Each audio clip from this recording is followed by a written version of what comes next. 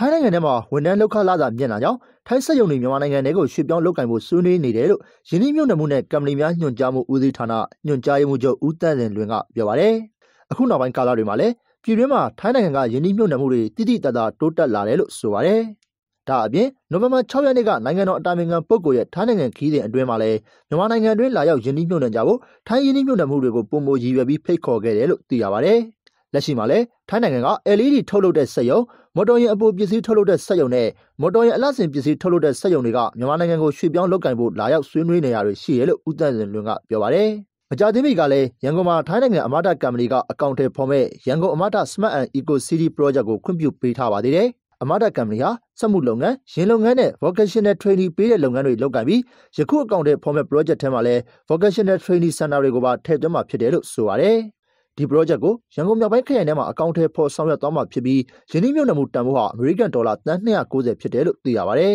။ပြီးခဲ့တဲ့ဘဏ္ဍာနှစ်စက်တင်ဘာလကုန်ထိထိုင်းနိုင်ငံရဲ့ယင်းနှိမ့်မြုပ်နှံမှုပမာဏဟာအမေရိကန်ဒေါ်လာတန်ပေါင်း3သိန်းကျော်ရှိပြီးယင်းနှိမ့်မြုပ်နှံမှုအဆင့်3နဲ့လုပ်ငန်းပေါင်း130ခုအထိလုပ်ကိုင်နေတာပါ။